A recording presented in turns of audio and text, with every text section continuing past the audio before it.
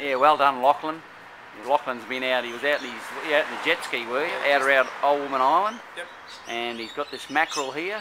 We can see it's either a broad barred or a, a schoolie. I'm not sure. It looks like the broad barred, but uh, and, it, and that's the lure he got it on. See the silver silver body, red head, deep diver. So well done, Lachlan. Thank you. Okay, good on you, mate. Cool.